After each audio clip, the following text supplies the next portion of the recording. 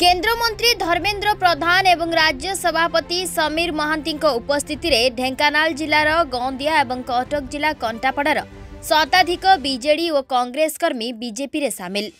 ପ୍ରଧାନମନ୍ତ୍ରୀ ନରେନ୍ଦ୍ର ମୋଦିଙ୍କ ନେତୃତ୍ୱ ଏବଂ ଭାରତୀୟ ଜନତା ପାର୍ଟି ପ୍ରତି ଦେଶବାସୀ ତଥା ରାଜ୍ୟବାସୀଙ୍କ ଆସ୍ଥା ବୃଦ୍ଧି ପାଇଚାଲିଛି ଆମେ ସମସ୍ତେ ମିଳିମିଶି ମୋଦିଙ୍କ ହାତମୁଠାକୁ ଟାଣ କରି ଦେଶର ବିକାଶ ପଥକୁ ତ୍ୱରାନ୍ୱିତ କରିବା ଆଜିର ମିଶ୍ରଣ ପର୍ବ ପାର୍ଟିର ସଂଗଠନକୁ ଆହୁରି ସୁଦୃଢ଼ କରିବ।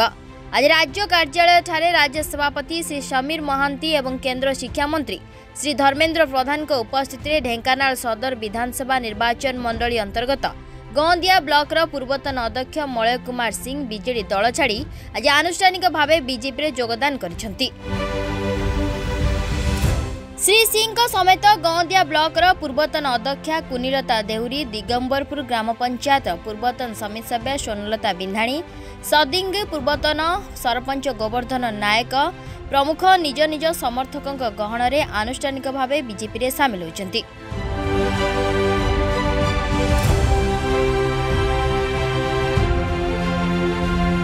ସେହିପରି ଗଅଁଦିଆ ବ୍ଲକ ପୂର୍ବତନ ଉପାଧ୍ୟକ୍ଷ ମମି ବେହେରା କାଶୀପୁର ଗ୍ରାମ ପଞ୍ଚାୟତ ପୂର୍ବତନ ସମିତି ସଭ୍ୟ ତ୍ରିଲୋଚନ ପ୍ରଧାନ ପୂର୍ବତନ ସମିତି ସଭ୍ୟା ବୁଲି ବେହେରା ଏହା ବ୍ୟତୀତ ଢେଙ୍କାନାଳ ଆର୍ପିଆଇ ଜିଲ୍ଲା ସମ୍ପାଦକ ପ୍ରହ୍ଲାଦ ବେହେରା ଆଇନଜୀବୀ ଯତୀନ୍ଦ୍ରନାଥ ନନ୍ଦ ପ୍ରମୁଖ ବିଜେପିରେ ସାମିଲ ହୋଇଛନ୍ତି।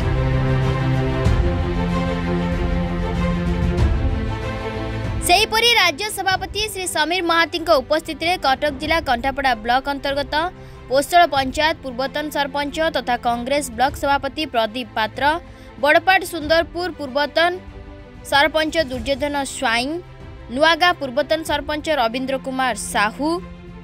ବେଣୁଧର ଜଟ ପ୍ରମୁଖ କଂଗ୍ରେସ ଓ ବିଜେଡି ପରିତ୍ୟାଗ କରି ବିଜେପିରେ ସାମିଲ ହୋଇଛନ୍ତି।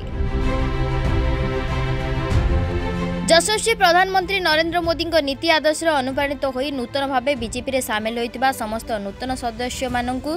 ଦଳୀୟ ଉତ୍ତରୀୟ ଓ ଟୋପି ପିନ୍ଧାଇ ସ୍ୱାଗତ କରାଯାଇଥିଲା। ଏ ମିଶ୍ରଣ ପର୍ବ ଅବସରରେ ପୂର୍ବତନ ସାଂସଦ ବରିଷ୍ଠ ନେତା ରୁଦ୍ର ନାରାୟଣ ପାଣି ରାଜ୍ୟ ଉପସଭାନେତ୍ରୀ ତଥା ଢେଙ୍କାନାଳ ଜିଲ୍ଲା ପ୍ରଭାରୀ ପ୍ରଭାତୀ ପରିଡ଼ା ଢେଙ୍କାନାଳ ଜିଲ୍ଲା ସଭାପତି ନରେଶ ମହାପାତ୍ର ରାଜ୍ୟ କାର୍ଯ୍ୟକାରିଣୀ ସଦସ୍ୟ ଶତ୍ରୁଘ୍ନ ଜେନା କୃଷ୍ଣଚନ୍ଦ୍ର ପାତ୍ର ଜିଲ୍ଲା ସାଧାରଣ ସମ୍ପାଦକ ସୁନୀଲ ଶର୍ମା ପ୍ରେମାନନ୍ଦ ଜେନା ପ୍ରମୁଖ ଉପସ୍ଥିତ ଥିଲେ। କଣ୍ଟାପଡ଼ା ମିଶ୍ରଣ ପର୍ବରେ ପୂର୍ବତନ ସାଂସଦ ତଥା ଏସିସି ମୋର୍ଚ୍ଚା ରାଜ୍ୟ ସଭାପତି ବିଭୁ ପ୍ରସାଦ ତରାଇ କଟକ ସଦର ଜିଲ୍ଲା ସଭାପତି ତଥା ପୂର୍ବତନ ବିଧାୟକ ପ୍ରକାଶ ଚନ୍ଦ୍ର ବେହେରା ରାଜ୍ୟ କାର୍ଯ୍ୟକାରିଣୀ ସଦସ୍ୟ ଛବି ମଲ୍ଲିକ ଓ ସୁକାନ୍ତ ବିଶ୍ୱାଳ ପ୍ରମୁଖ ଉପସ୍ଥିତ ଥିଲେ। ଭୁବନେଶ୍ୱରରୁ ଭିଡ଼ିଓ ଜର୍ଣ୍ଣାଲିଷ୍ଟ ଋଷିକେଶ ସାହୁଙ୍କ ସହ ହରପ୍ରସାଦ ବିଷୟଙ୍କ ରିପୋର୍ଟ। ରିପୋର୍ଟ ଷ୍ଟୁଡେ